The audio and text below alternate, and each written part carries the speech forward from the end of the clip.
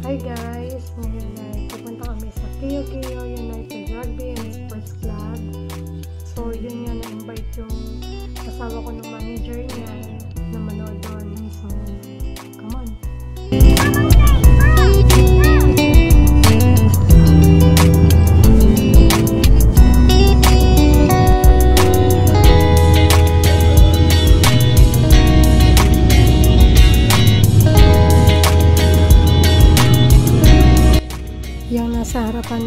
si Jan, kasamahan ni Jero sa trabaho.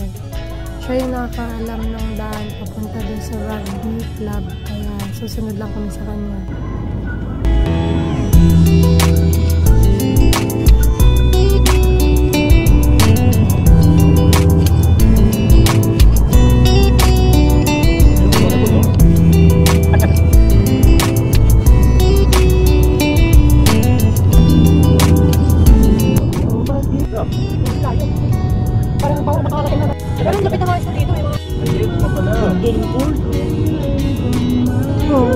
Nga. Ito si pool.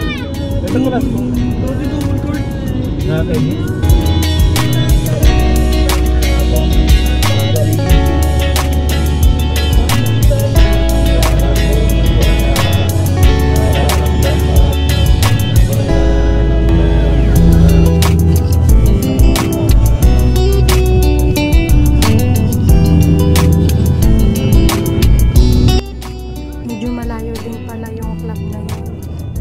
Sa bahay namin. Ilang hills na yung nadaanan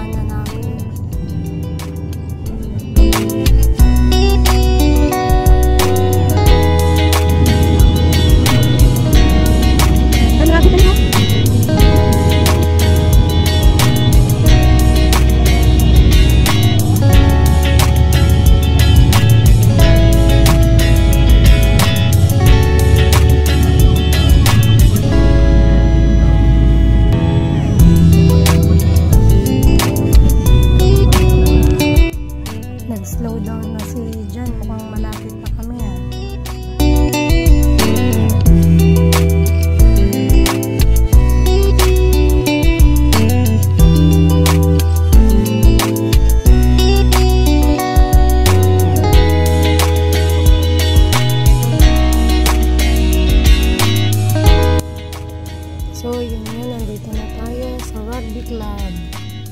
First time namin makakapunta dito. So, tignan natin kung anong mayroon dito.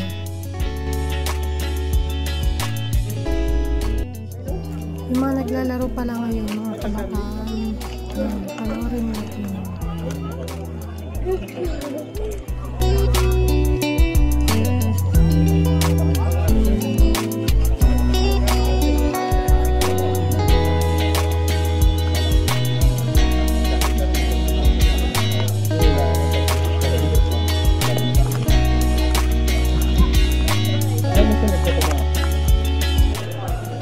Ito yung mga bumubuo ng club nila. Yan.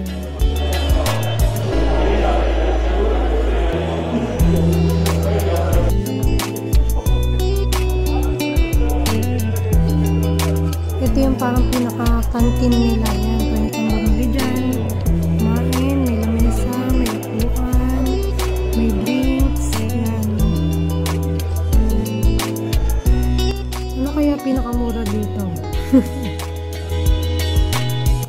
Kami pala yung magsusulat sa resibo ng mga order namin. Tapos yung price na nakalagay dun sa brochure ng pagkain.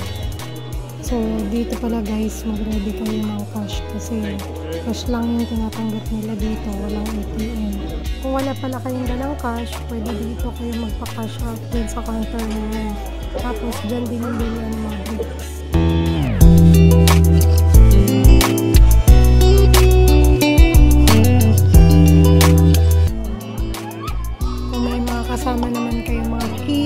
Bagets nyo, yan, meron silang playground dito sa likod. Yan, mag-enjoy sila. Thank you for watching guys. Please follow, like, and subscribe to our channel, New Zealand Journey. God bless.